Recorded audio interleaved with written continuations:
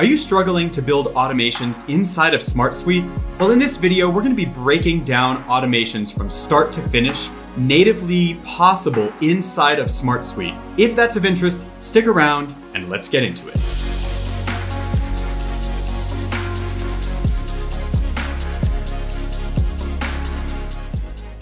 Welcome back to the channel. If you're new here, my name is Gareth. I'm the owner at Gap Consulting, and we make it our mission to help you get organized and automated using no-code tools. SmartSuite is at the forefront of all of these no-code tools heading on into 2023. So let's go ahead and break down exactly how we can go from start to finish building automations natively inside the tool, but before we get into it, I want to invite you for a couple of different opportunities. Number one, if you want to follow along with this video, be sure to start and open up your own SmartSuite account.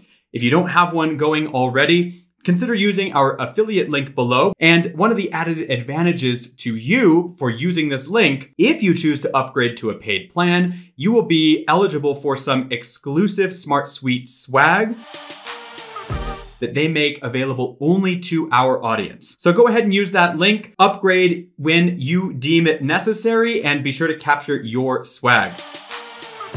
But also, if you're new to no code automation in general, I welcome you to join me for my free training. Check this training out at garethpronovost.com slash webinar dash registration. Again, this link will be below the video as well. And in here, we're gonna break down all no code automation fundamentals. Slightly more lengthy training than what we're going to go through here. So if you're looking for something more robust, definitely grab that training as well. But without further ado, let's hop on into the heart of the video we've got to talk about SmartSuite automations. So as we hop into this, you're going to notice that I'm already in a SmartSuite solution here. I call this solution Gareth's Sandbox for YouTube. And of course, we have a few different applications. I have a contacts, a content, and an invoice application. It's important to note that we have access to various applications within this solution because we're gonna be able to see those different pieces when we're building our automations. Now, the good news here is that if you've built automation in no-code tools before, this is gonna look and feel really familiar for you. So in order to access automations to begin with, we go up to the solution level. Inside of this particular solution, make that selection here at the top, and you can scroll on down to find automations about halfway down the panel. Now, once you make this selection, it's gonna open up the modal for creating our first automation. So the first thing an automation needs to have in order to function is what we call a trigger.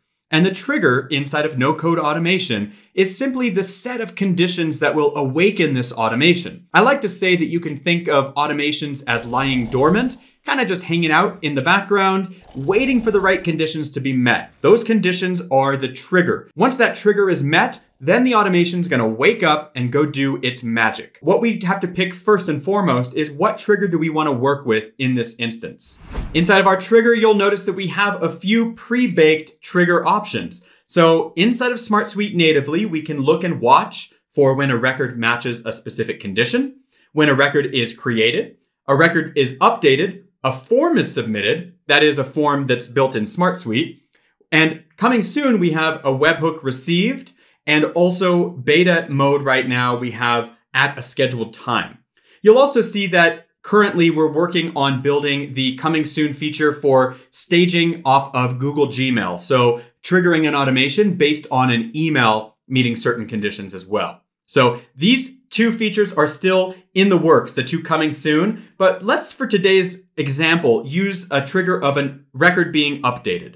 So when a record inside of our specified application is updated, that will then initiate our automation. So for example, we might say, let's look at our content application. So first we have to tell SmartSuite, what application are we actually watching to see if this automation deserves to wake up or not.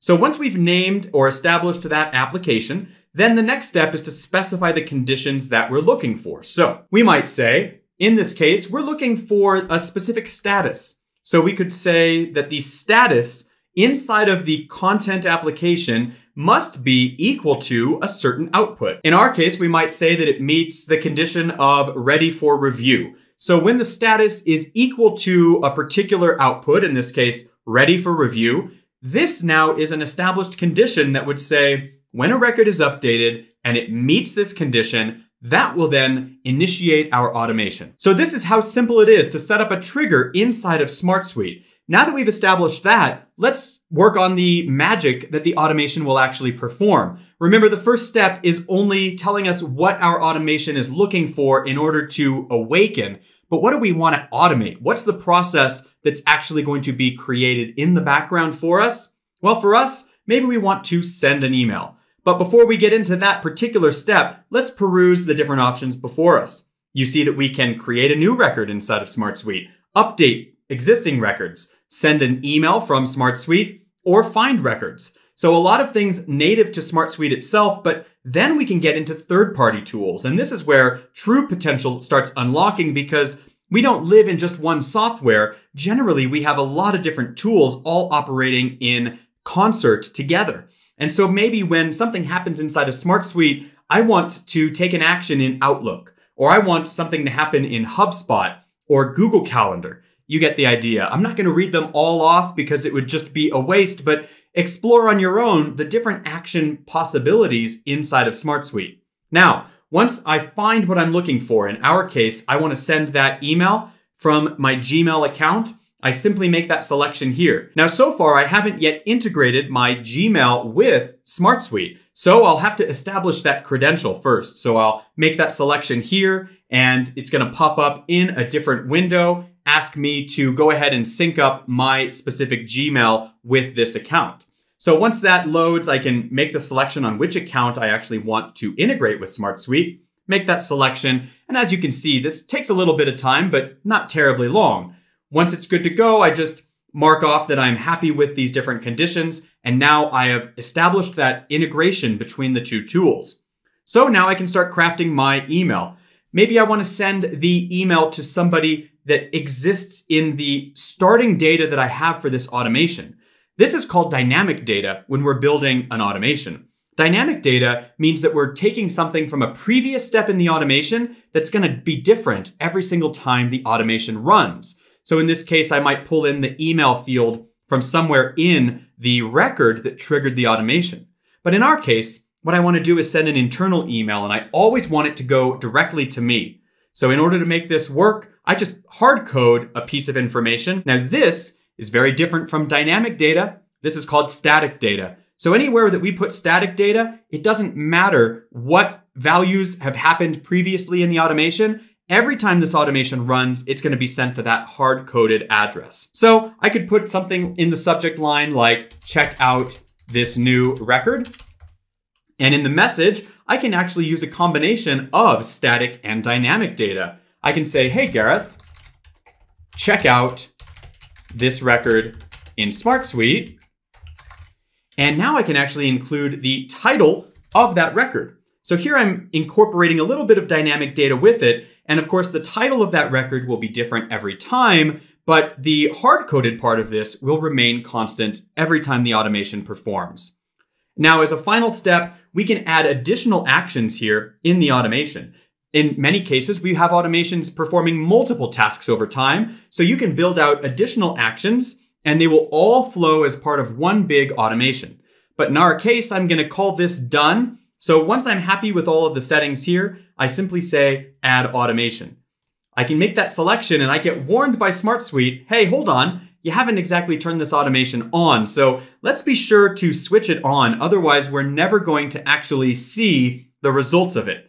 Now that we've turned it on, we see our first automation right here. Of course, we can always choose to rename this if we would like and or add a description. And this is gonna help us stay organized inside of SmartSuite as we build more and more automations.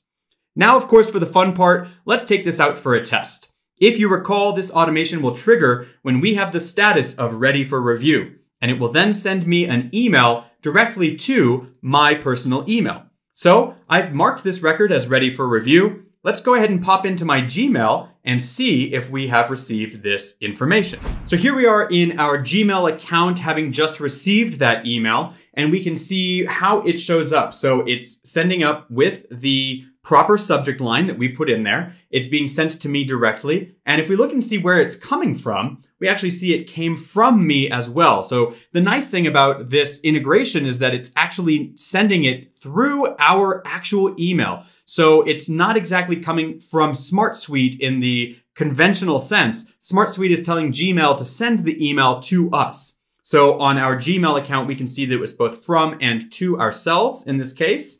And then we also look at the body of the email. And of course, this final part here is the name of the record that we used in the automation. So remember, a mixture of static and dynamic information as we are cultivating that automation. So in your automations, many things will stay the same every time they exist or iterate, and many things will change depending on the conditions of that specific automation and information that was provided earlier in the automation. In our example, that dynamic information was the title of the record itself. I know we covered a lot and went fast in this video, so be sure to check out the links that I recommended at the beginning, both to sign up for SmartSuite and also to check out a more robust training around automation in no code. That's it for this video. If you haven't already subscribed to the channel, please do consider doing so, and I will see you in the next one.